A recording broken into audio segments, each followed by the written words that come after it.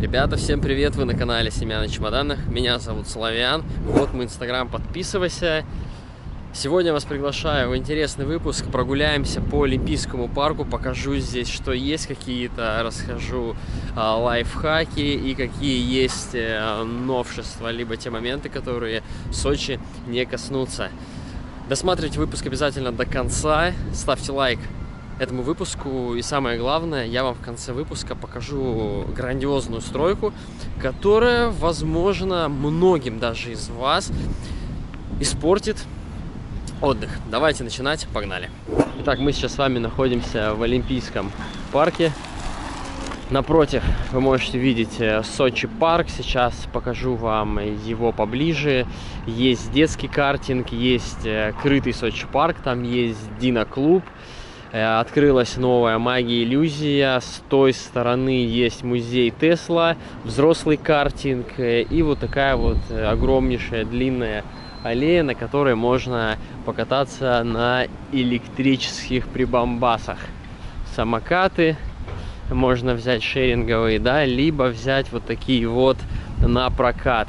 Выбор огромнейший, даже я не скажу, что он огромный, ребята, он реально огромнейший. Здесь на любой цвет, на любой вкус, какое приложение вам нравится, такое берите.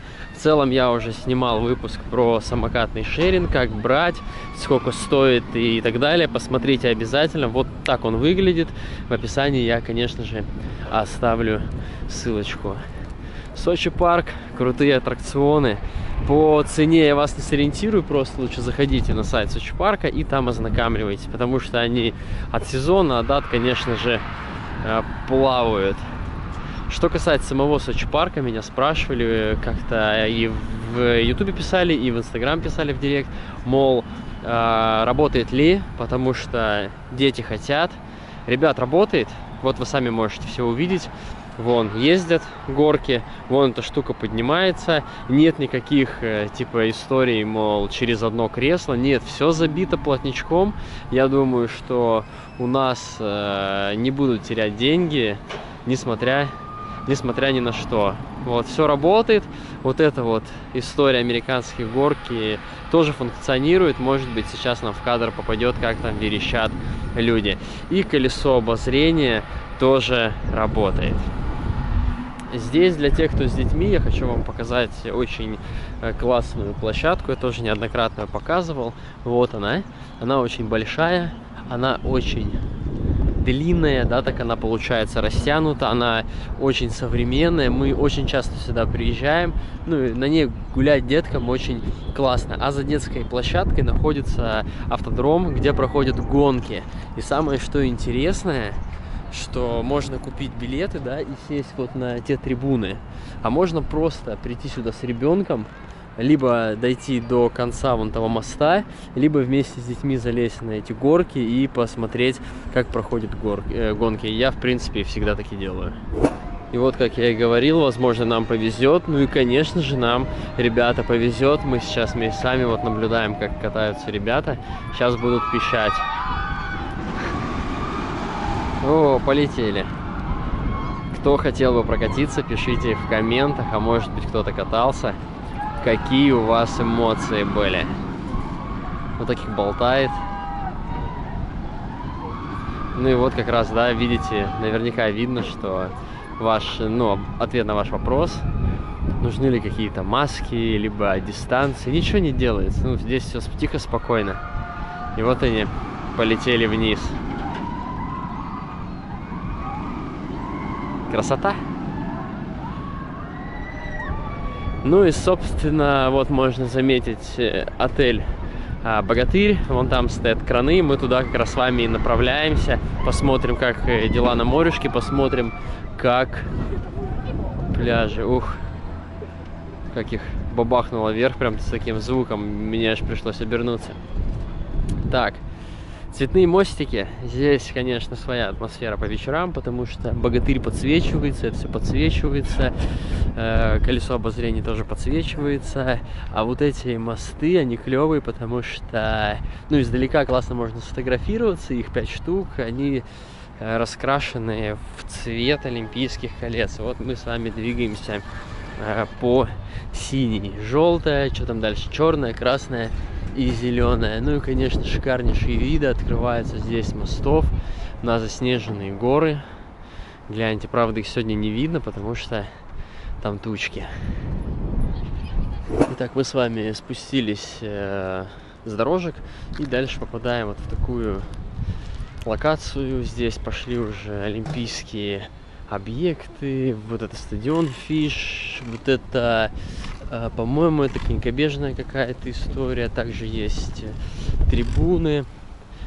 Там находится факел олимпийский. Давайте сейчас с вами тоже туда пройдем, посмотрим.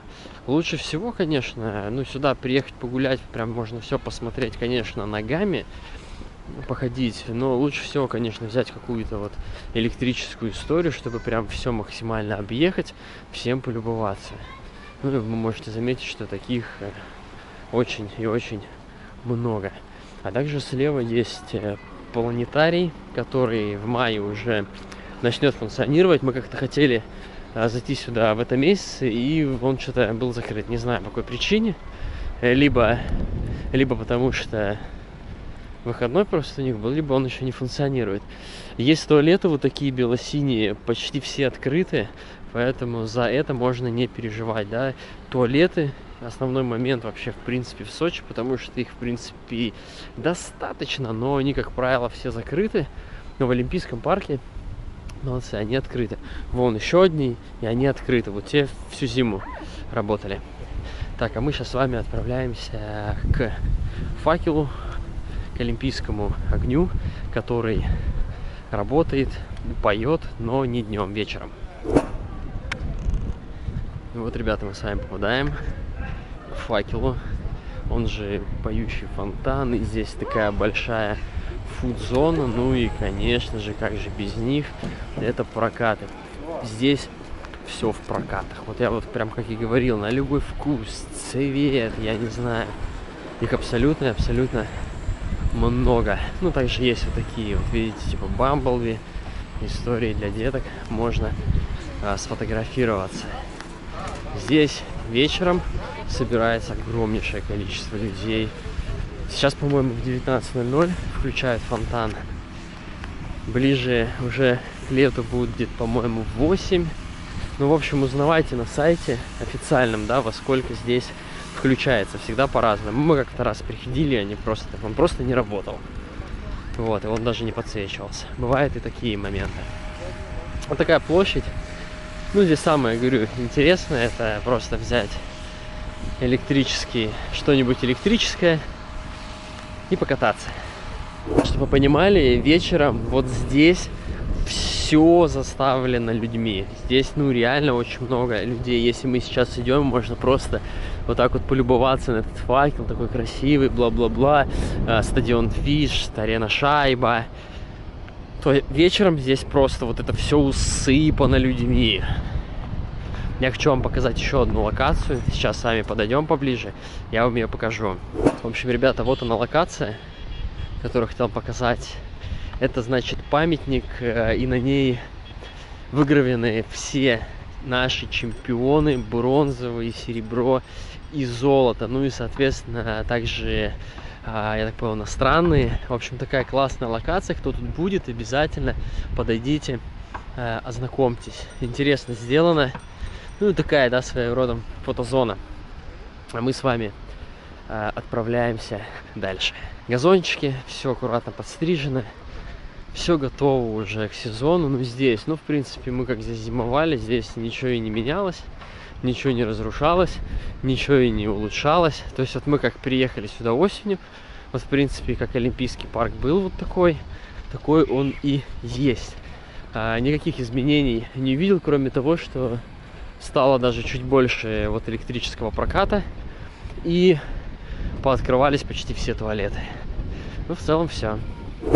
Мы сейчас с вами уже будем выходить из Олимпийского парка, и вы можете посмотреть вот тут, какая огромная территория проката. Это вот там получается факел, вот там мы с вами шли, там вот этот мост, вот он планетарий, а мы с вами будем двигаться дальше в сторону пляжа вот нас виднеется отель Богатырь.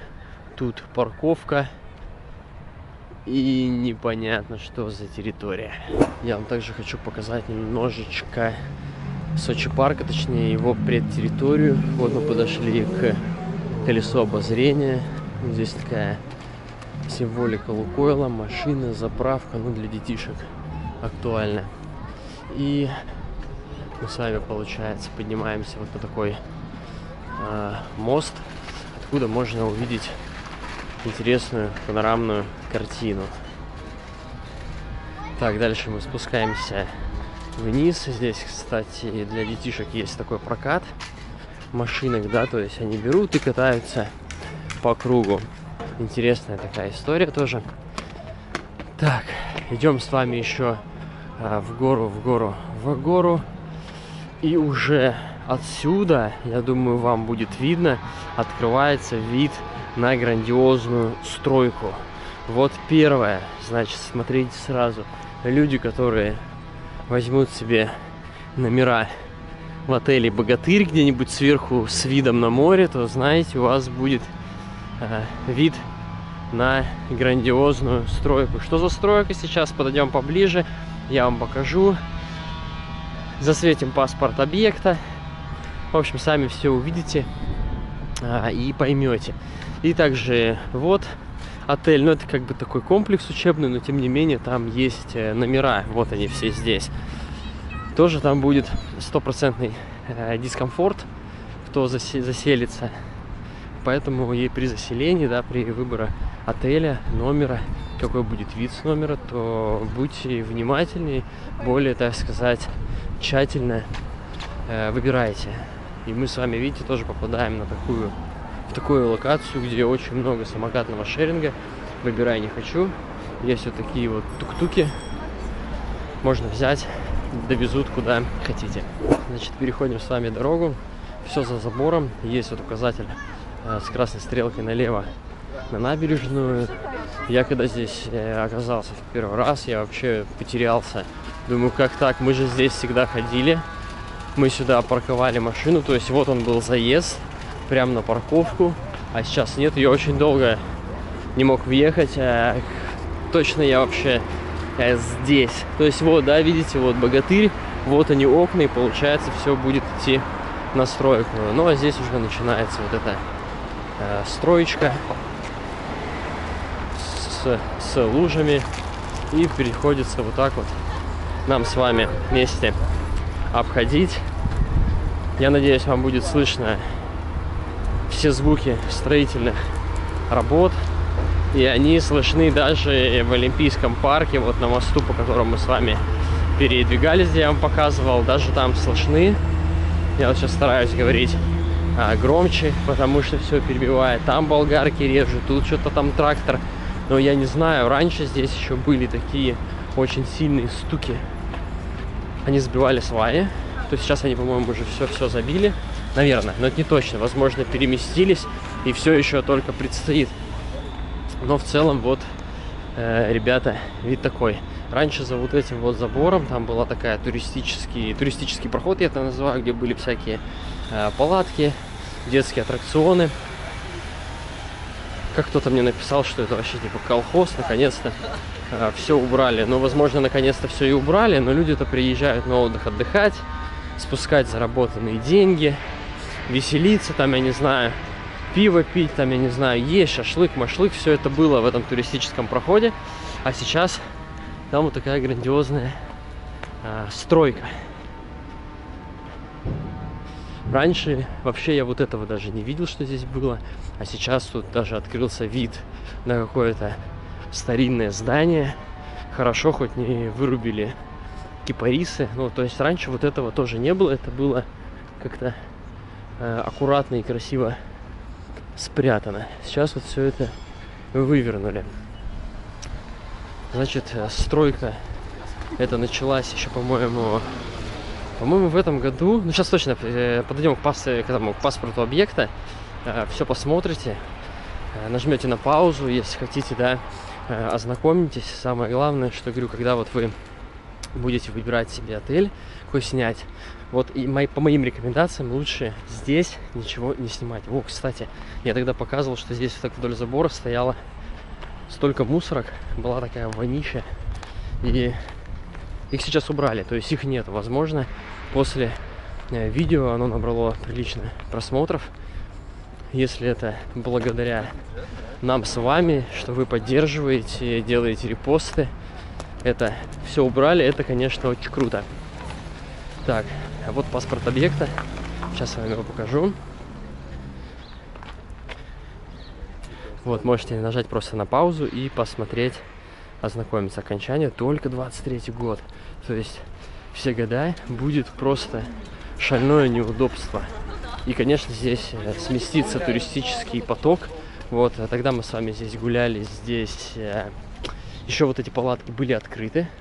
Сейчас все, и им, короче, лавочку прикрыли, все за забором. Я не знаю, конечно, как это все будет демонтировать, какие убытки понесут э, предприниматели. Такая здесь была кормушка, а сейчас все. Ну вот, по крайней мере, Боха ресторан пока функционирует. Он, кстати, все, он заработал, работает в полном режиме, хотя раньше тоже был закрыт. Так, и мы с вами попадаем к пляжу. Давайте посмотрим, как дела здесь как здесь идет подготовка к сезону. Вот видите, все закрыто за забором. Раньше здесь был такой большой детский парк, веревочный, всякие различные. И попадаем с вами на пляж. Давайте поглядим. Ой, как здорово. Ну что, вот такой вот у нас вход на пляж. Море сегодня, да, море сегодня бушует. Волны такие нормальные. Вот Первый раз вижу оранжевые подушечки. На этом берегу в Олимпийском обычно это фиолетовые и красные. А вот сейчас появилась такая зона оранжевых подушек. Но здесь чище. Здесь, конечно, чище море, чем э, в Адлере, потому что река дальше, наверное, на тех вот пляжах бархатные сезоны, там, конечно, будет тоже цвет моря коричневый. Даже дождики еще идут. Так, смотрите, открылся прокат сапов. Можно брать, катать даже вот э, в такую погоду. Море, кстати, сейчас 12 градусов. Купаться, конечно, можно, но холодно. Если снимете сап, вам дадут э, термокостюм 500 рублей костюм и 500 рублей э, сама доска на один час. Кстати, мы тоже катались, попали в стаю дельфинов. Классно так, посмотрите выпуск. Вот так он выглядит, и ссылочка будет в описании под этим видеороликом. Гальку так смыло. Вид на стадион Фишт. Здесь, в общем, э, в мае, когда вы приедете отдыхать, в этой части набережной, ребята, ловить будет нечего, потому что здесь все палатки и все, что относилось как-то к слову, турист, все позакрывалось, ничего не работает, ведется грандиозная стройка. Я вам уже показал, затянется до 23 года. И если все пойдет хорошо, да, как обычно это при строительстве бывает, но зато, я думаю, пляжи здесь будут минимально пустые. И здесь, в этой части, можно будет хотя бы отдохнуть и хотя бы нормально покупаться. Вот этот пирс, за пирсом находится пляж Роза Хутор. Почему-то там сейчас ничего особо не ведется. Посмотрим, как будет в ближайшие дни, ведь с 1 мая открывается сезон, туристический сезон откроется, и почти, не почти, много пляжей уже будут готовы встречать своих гостей. Вот такой вот видеоролик у нас с вами получился. Я очень надеюсь, что для многих это была сейчас ценная информация. Уделите одну минутку своего времени, сделайте репост данного видео в свои социальные сети. Это очень помогает в развитии канала. Конечно, нажимайте лайк, пишите комментарии, что скажете насчет данной стройки. А может быть, кто-то уже из вас забронировал жилье себе где-то в этой окрестности и сейчас понимаете, что ходить к морю будет проблематично, особо с точки зрения туристической истории здесь ничего нету. И придется сдать и поменять на какое-то жилье получше, если вы выбираете Эмеретинку. А я с вами прощаюсь, увидимся уже завтра с вами в новом видеоролике. С вами был канал Семья на чемоданах. Пока!